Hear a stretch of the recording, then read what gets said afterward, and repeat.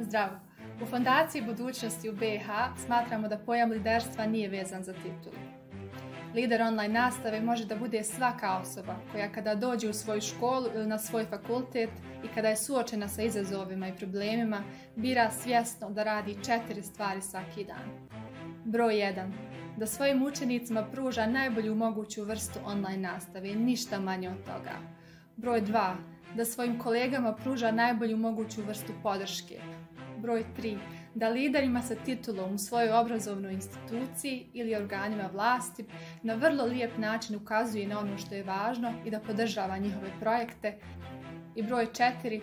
Da uvijek, uvijek bude dio rješenja. Ako će ukazati na problem, lider online nastave će predložiti rješenje. Dakle, cilj ovog kursa, lideri online nastave, je da osnaži svakog edukatora, bilo da je to dekan fakulteta, direktorica škole, nastavnik, asistentica u nastavi ili bilo koja druga osoba koja na neki način podržava obrazovni proces. Na ovom kursu ćete naučiti kako se izvodi kvalitetna online nastava kroz mnoštvo interaktivnih aktivnosti. Komunicirat ćete sa instruktorima i drugim polaznicima na kursu i imati priliku da vježbate upotrebu alata tokom kursa i tokom live webinara.